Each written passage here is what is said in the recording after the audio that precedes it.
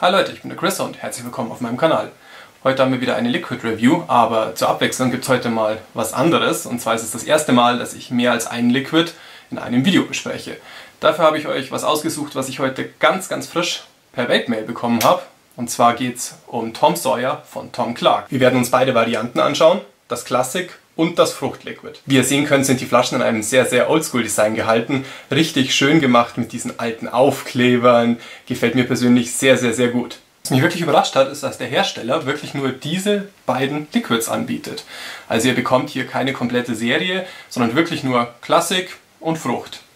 Finde ich persönlich jetzt erstmal gar nicht so schlecht, denn das zeigt für mich, dass hier wirklich auch eine Arbeit dahinter steht und auch wirklich lange an diesen Liquids geforscht wurde. Bei Facebook, glaube ich, war sogar ein Kommentar zu finden, dass an diesen Liquids zwei Jahre lang entwickelt wurde. Und laut Tom Clarks wurden bei der Zusammenmischung zwölf verschiedene Aromen verwendet und bei jedem Dampfen soll sich etwas Neues entdecken lassen. Aber Waldmeister soll bei jedem der beiden ganz weit vorne stehen und es soll sich wohl nur der Fruchtanteil im Geschmack verändern. Beim Ausatmen soll uns eine leicht frische Note begleiten. Da bin ich wirklich gespannt, wie das schmeckt. Beide Liquids sind in einer 70-30 Mischung und ich habe sie hier mit 3 Milligramm Nikotin.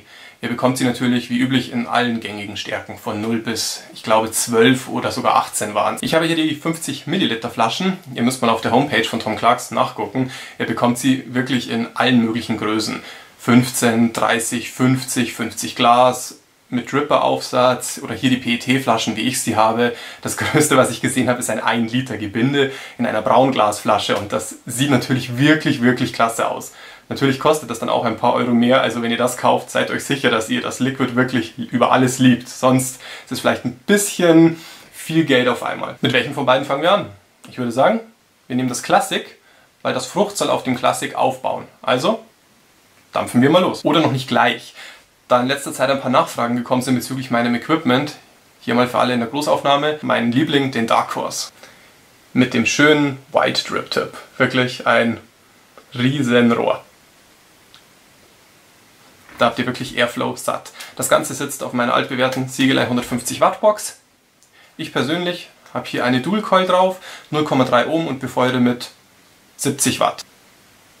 Hier könnt ihr es sehen. Drip ist überraschend geruchslos, ehrlich gesagt. Ich hätte erwartet, dass aus der Flasche zumindest sich schon ein Basisgeruch entnehmen lässt, aber gar nichts. So Leute, genug geredet. Tom Sawyer Classic. Legen wir los.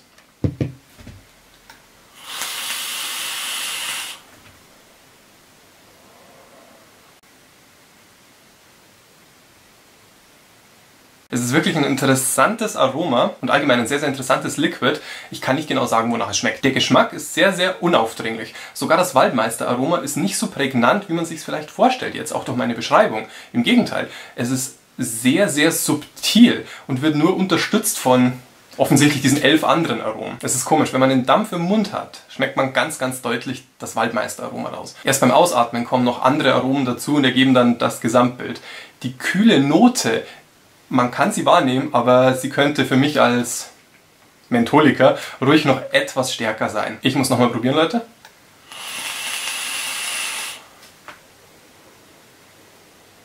Ich habe es nicht glauben können, aber es ist wirklich so. Mit jedem Mal, wo ihr das dampft, kommt ein anderer Geschmack. Manchmal ist das Waldmeister mehr vorne, dann wieder weiter hinten, dann ist der Fruchtanteil wieder ein bisschen weiter vorne, wieder ein bisschen weiter hinten. Es ist kein süßes und es ist kein saures Liquid. Es ist auch kein, kein Dessert oder ähnliches. Es ist wirklich, wirklich schwer zu beschreiben, in was sich das einstufen lässt. Jetzt natürlich die Frage, ist es ein All-Day-Vape, wie der Hersteller behauptet? Wenn man Waldmeister mag, pauschal ja, ohne jegliche Diskussion. Wenn ihr es nicht mögt, dann denke ich, ist auch dieses Liquid nichts für euch. Trotz der Kombination von so vielen Früchten, die wir hier haben, doch die Hauptnote einfach auf Waldmeister. Alles in allem ist es wirklich ein sehr, sehr leckeres Liquid, was wirklich noch viele Überraschungen im Geschmack hat, was ich selbst nicht erwartet hätte. Aber jetzt bin ich gespannt, wie sich das Fruchtliquid dagegen macht. Wir schwenken auf Blau um. Reden wir nicht lang, dampfen wir es.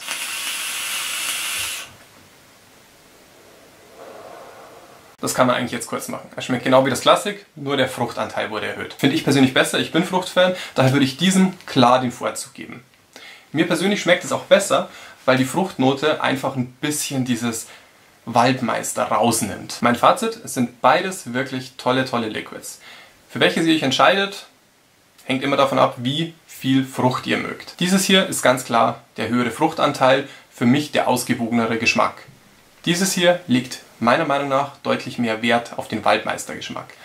Beide lassen sich sehr, sehr gut dampfen, haben eine hervorragende Dampfentwicklung, habt ihr gesehen hoffentlich, und schmecken sehr, sehr gut. Wie immer setze ich euch einen Link zu einem Shop unten in die Box und ich hoffe, ihr hattet viel Spaß und bis zum nächsten Mal.